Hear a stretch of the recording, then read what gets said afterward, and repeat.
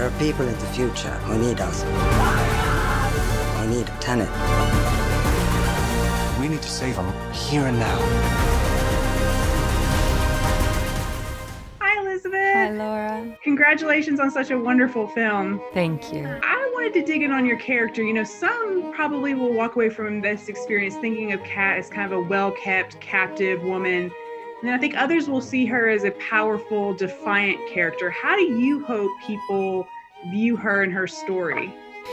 I suppose as an actor, you kind of hope that the thing that you really respond to, the kernel that you really responded to of truth in the role is the thing that people take away. And for me, what I found really interesting about her and what I found authentic was the psychological journey she goes on. And I think that there are both elements in her. And I think that when we first meet her, she is captive and she is.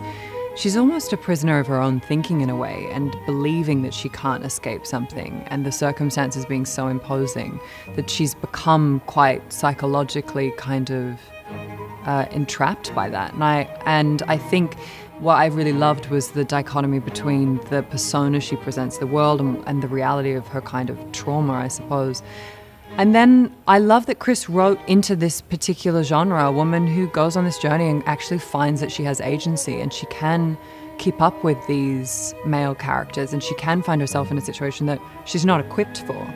But she finds this resilience and this ability to kind of go along with the thing. And I really love that about her, and I love that she she does become strong, and, and I think the, the, the strength to me is believable. It's sort of psychological, if anything.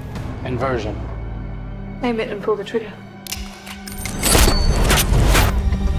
You're not shooting the bullet, you're catching it. So the the locations in these movies is is stunning, and they feel like their own character. What do you think the various what seven or eight locations brought to the film? Scope. I think it's it's scope, and I think that the thing about the cinema, going to the cinema, and what Chris gives us, and when I think about all his movies, the visual kind of feast of it, and accessing parts of the world that you would never have, and it's so timely as well, given that we've all been really in our living rooms for six months. It gives you access to this phenomenal globe and the different taste of all those different countries. I feel like is really real and gritty and accessible on the screen. To do what I do, I need some idea of the threat we face. As I understand it, we're trying to prevent World War III. My first thought leaving the theater was, oh man, I need to see this two or three more times so that I can really start to catch all of the complexity and the plot twists. What was your first impression when you read through the script?